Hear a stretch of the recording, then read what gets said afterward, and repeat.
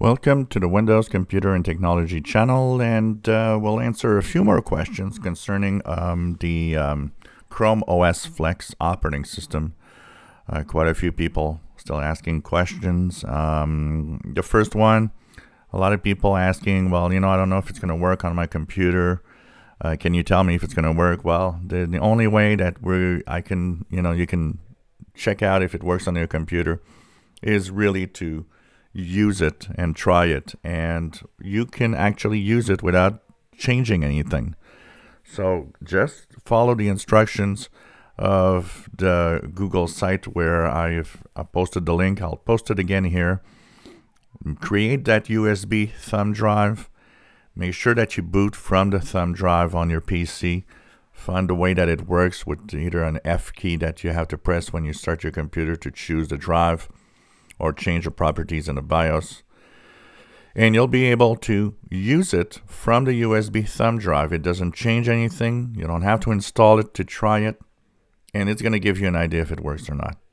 If it works from that thumb drive boot up, then it should work if you install it. I think it's a great replacement for an older PC.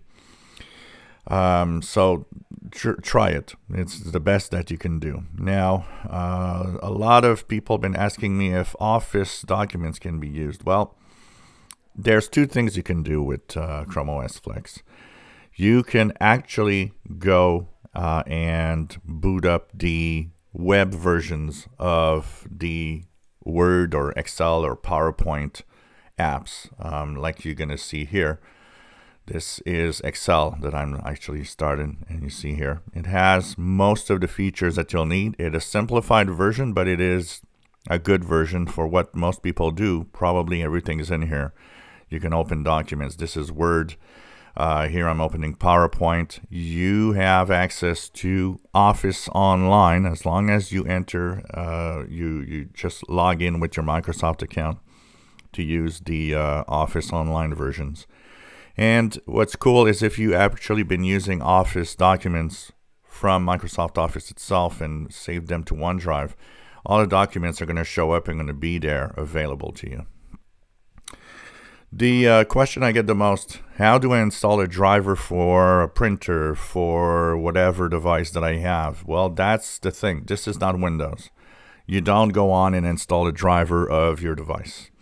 You have to count on the fact that the device is already and has already its own drivers within the Chrome OS Flex operating system.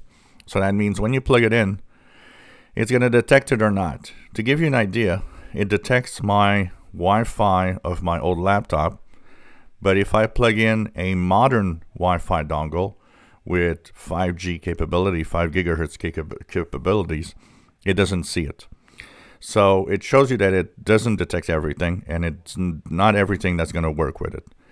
Now, as time goes by, there will be more devices added to it. So that's the good news.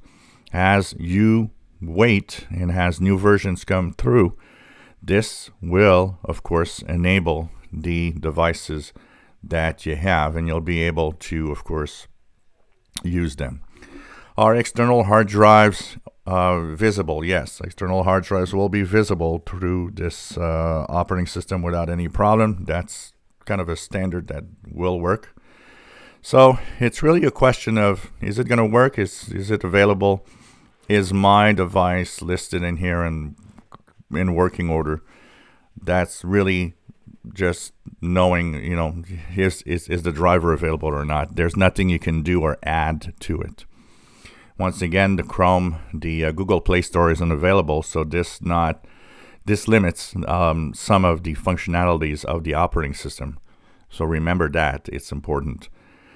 But overall, um, I mean, I've been using it for a couple of weeks on my old laptop. Works great, and I'm actually going to leave it like that. I'm really happy with it. And as time goes by and new versions arrive, I will continue talking about Chrome OS Flex. Last but not least, a lot of you are like, uh, well, I went there and I don't find my device. And it's like, you don't choose a device when you actually want to create the USB thumb drive. You have to go in the list and choose Chrome OS Flex. You don't choose a computer, you don't choose a device. You, that's not the way it works. You just choose Chrome OS Flex. It's in the list. That's what you need to create the USB thumb drive.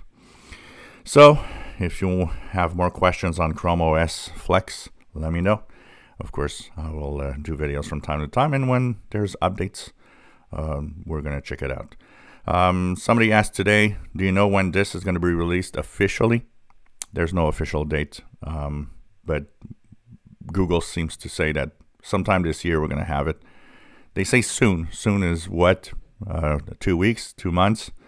You know, it's going to be available at some point. And like I said, every time there's a new version or when it's actually general avail- availability, uh, I'll talk about it and let you know. If you enjoy my videos, please subscribe, give us thumbs up. Thank you for watching.